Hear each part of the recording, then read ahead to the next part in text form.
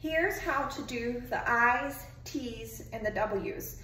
This helps to strengthen and condition the shoulder blade areas, the upper abdominals, and the mid-back for stability in the upper quarter. You can use weights or no weights, but do not go higher than five pounds. Otherwise, you're likely to compensate. First, what you're going to do is put the weights in both hands if you're using weights.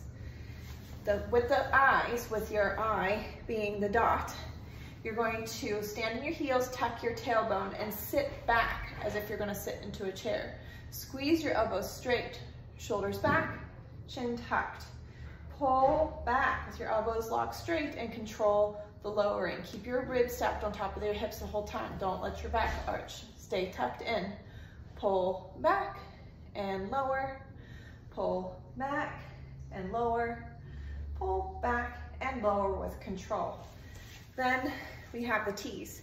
Same position, feet together, knees stacked on top of the ankles, ribs tucked, shoulders back, chest lifted.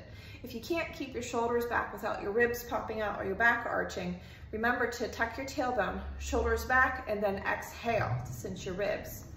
Put both arms out in front, straighten your elbows out, pull back, squeeze your shoulder blades together. Don't overextend and arch your back. Keep your ribs in and come back to center.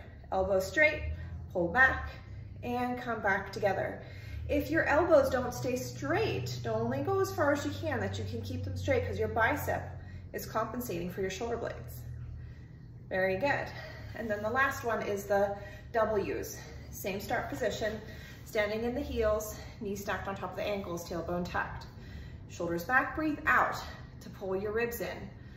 Starting here, pull back, Squeeze your shoulder blades together and come back to center. Keep weight even on both feet.